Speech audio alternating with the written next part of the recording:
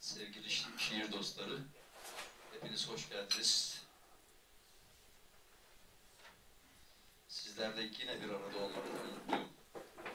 Ümit Yaşar Uluçar'a ait Güllerin Ağladığı Saat isimli şiiri seslendirmeye gayret edeceğim.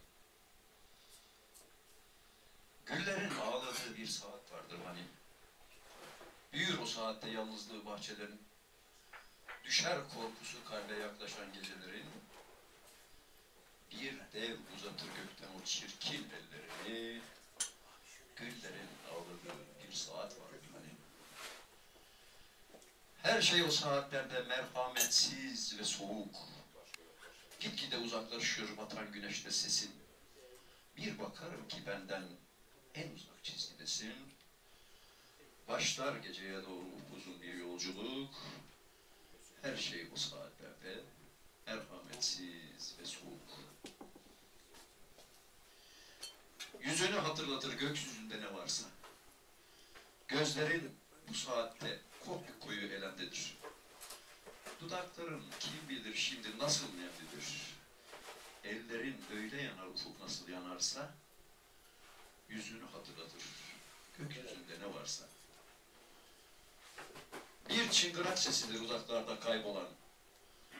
Umulmadık bir anda bitiverir şarkılar.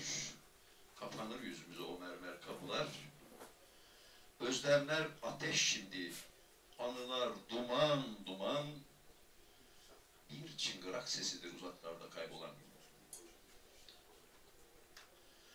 Ak köpükler kararır, denizler görünmez olur. Çağırır yaşamaya bizi tek tük, tek. Böylece üstümüze çöker de karanlıklar.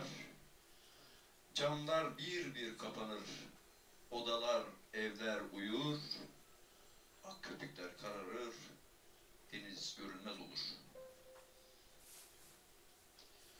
Güllerin ağladığı bir saat vardır hani. Cıvıl cıvıl bahçelerden el ayak çekilir. Yapraklar düşünceli, dallar hüzün kesilir.